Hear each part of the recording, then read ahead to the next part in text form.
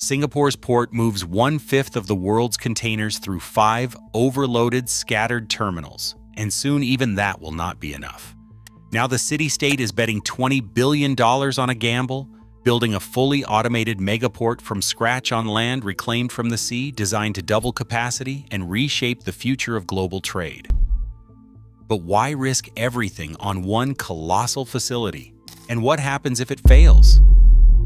The answer begins with how this tiny island became the world's pivotal shipping hub.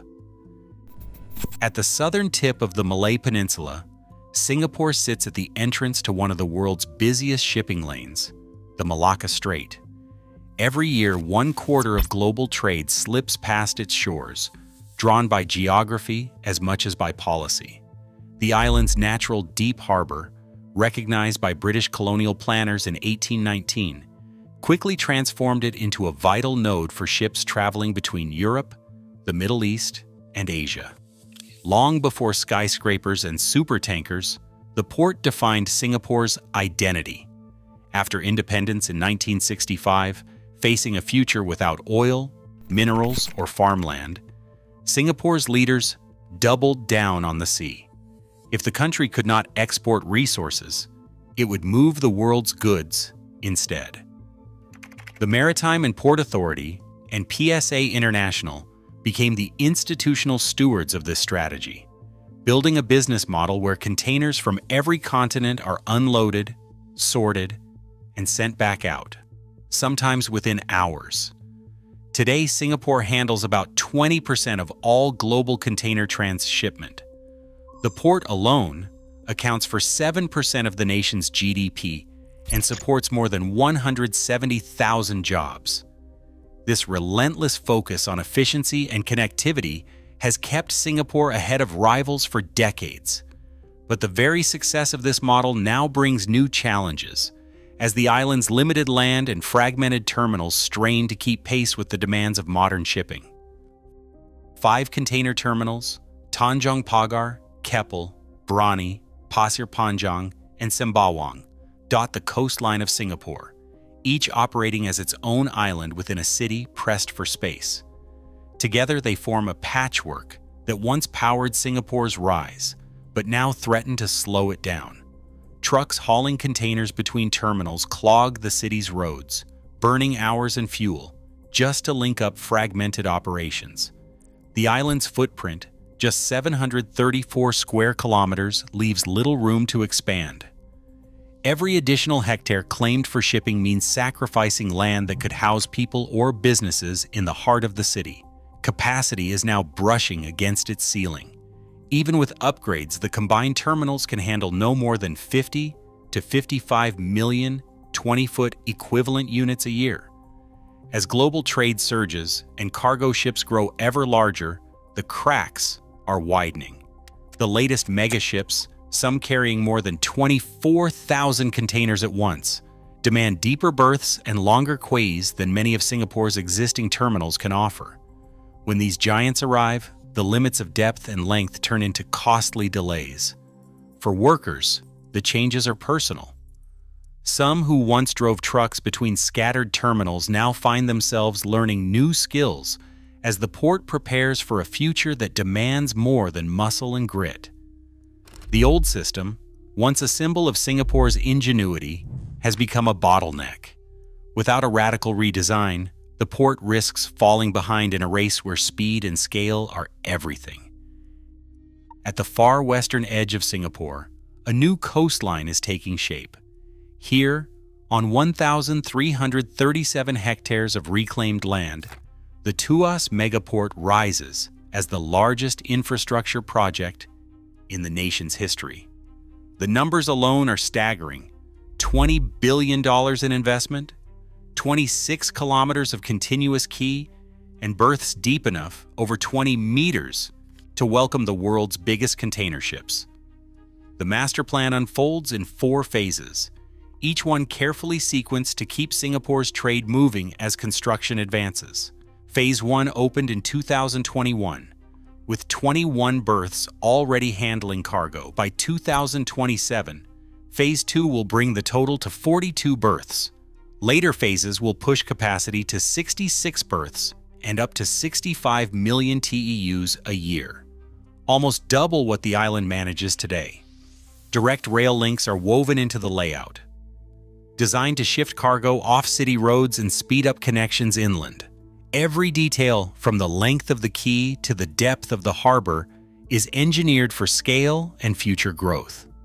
For the engineers behind Tuas, this is not just a port, it is a blueprint for how a small island can remain at the center of global trade. Rows of driverless vehicles called Automated Guided Vehicles, or AGVS, glide across the container yard at Tuas Megaport, a showcase of automation, moving cargo day and night without a single person in the driver's seat. Over 200 AGVS, guided by a 5G wireless backbone and orchestrated by artificial intelligence, carry containers from ship to stack with precision.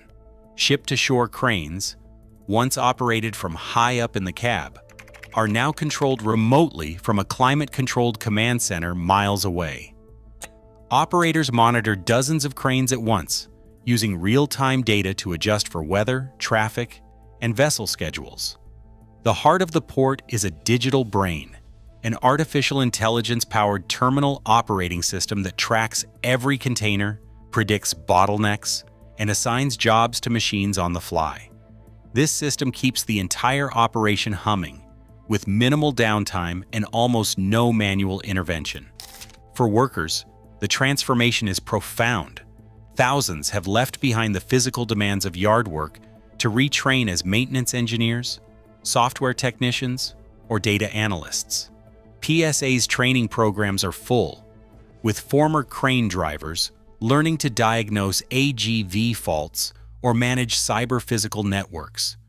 The port's new workforce is as likely to carry a laptop as a wrench. Automation has not erased the human presence, it has shifted it. From the docks to the digital nerve center, where Singapore's future in shipping is being written line by line. Beneath Tuas Megaport's concrete and steel lies a foundation built almost entirely from the sea, creating 1,337 hectares of new land demanded a feat of engineering and a supply chain stretching far beyond Singapore's borders.